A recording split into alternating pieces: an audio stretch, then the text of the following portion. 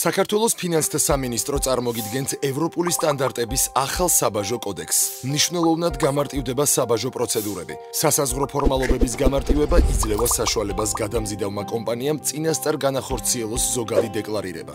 საქონლის შემოტანისას 200, ხოლო გატანისას 150 დღით ადრე, რაც გამოიწვევს საზღვარზე აღრიცხვის მოწმობის გამოწერისათვის დროის დაზოგვას.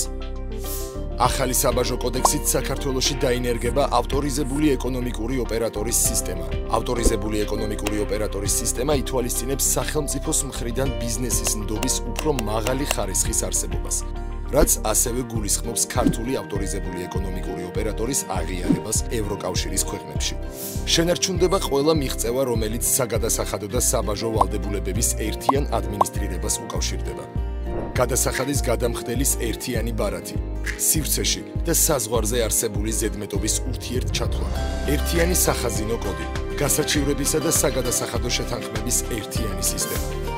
საბაჟო კოდექსის ამოქმედების შემდეგ საქართველოს იქნება პირველი ქვეყანა რეგიონში რომელიც თანამედროვე საბაჟო ინფრასტრუქტურასთან ერთად ახალი საბაჟო კანონმდებლობითაც სრულად უპასუხებს ევროპულ სტანდარტებს საქართველოში სრულად დაინერგება ციფრული საბაჟოს კონცეფცია, რაც გულისხმობს საბაჟოს ყველა სერვისის ბიზნესისთვის ელექტრონული ფორმით მიწოდების შესაძლებლობას. საქართველოს ფინანსთა სამინისტრო, სწრაფად და მარტივად